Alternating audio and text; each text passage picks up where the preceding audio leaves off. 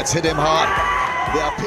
पाकिस्तान बामुकाबला बांग्लादेश पहले test match का तीसरा दिन आबेद अली के 133 रन ताजुल इस्लाम की सात विकेट के बाद शहीन शाह अफरीदी की एक ही ओवर में दो विकेट ने मैच को सनसनीखेज बना दिया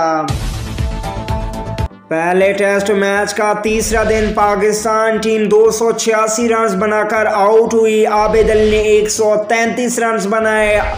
अब्दुल्ला शफीक ने बावन रन की इनिंग्स खेली, जबकि फ़हीम अशरफ ने 38 रन बनाए।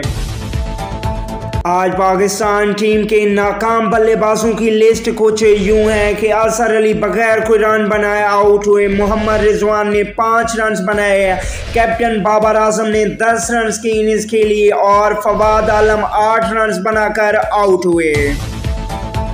बांग्लादेश की जानब से ताजुल इस्लाम, जो कि बांग्लादेश के स्पेन बॉलर हैं, उन्होंने सबसे अच्छी कारकर्दगी का मुजाहरा करते हुए पाकिस्तान के सात बल्लेबाजों को पवलियन की राह दिखाई। तीसरे दिन खेल के अख्ताम तक बांग्लादेश टीम ने उनतालीस रन बना रखे थे, जबकि बांग्लादेश के चार मेन बल्लेबाज आउट हो चुके थे। शहीन शाह अफरीदी ने तीन खिलाड़ियों को आउट कर रखा है, जबकि हसन अली ने एक विकेट हासिल कर रखी है। वालेकुम दोस्तों, पाकिस्तान वर्सेस बांग्लादेश पहले टेस्ट मैच का तीसरा दिन अख्ताम पसीर हो चुका है। तीसरे दिन के खेल के अख्ताम तक बांग्लादेश ने दूसरी इनिंग में उनतालीस रन बना रखे थे और चार खिलाड़ी आउट हो चुके थे। पाकिस्तान ने पहली इनिंग में दो सौ छियासी रन बनाए, जबकि बांग्लादेश ने पहली इनिंग में तीन सौ तीस रन बनाए।